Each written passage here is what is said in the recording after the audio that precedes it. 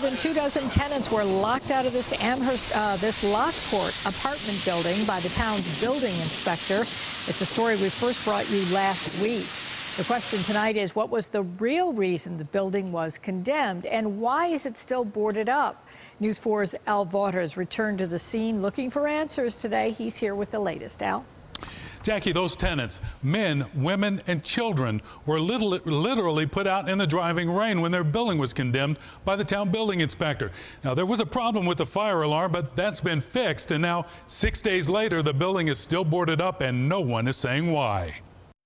Tenants are getting back into their apartments, but just long enough to grab a few personal effects.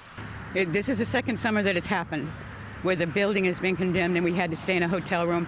Lemetrius Gibson, a father of three small children, one of them suffers seizures and has special needs. When they were forced out of their apartment, panic set in. It gave us 15 minutes to get out the building. We were outside in the rain, and he had one.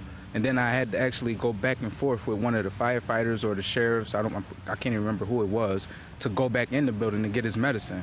Now he and his kids might have to crowd into his mom's one-bedroom apartment. They won't answer any calls. Red Cross won't help us. No, so he has, you know, no other alternative. I mean, if we have to bunch up in my one bedroom apartment, then that's what we'll do. Jenny Falsetti had to get her medicine and wonders why she's now hearing the building could be shut down for two months. So we went outside, and then we were told to go back inside and to gather up enough stuff for about three days, three or four days. After the building was boarded up, the inspector posted this notice that the building is condemned, but it doesn't list the dangerous violations that led to the condemnation. We asked Building Inspector Brian Belson what the violations are. He didn't return our calls, so we had to file a Freedom of Information request at Town Hall. Some tenants are hearing the steps need repair and there might be mold in the laundry room.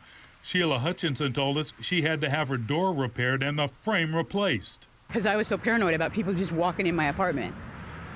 Have you? Is there anything dangerous or life-threatening? No, no. It's just little stuff. A whole bunch of little stuff. The building inspector has five days to get back with us. Now, tenants are being advised to contact the New York Attorney General's Consumer Hotline about this controversy. That number is 853 8404.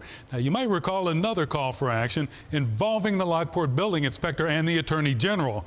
We'll have more on that at 6.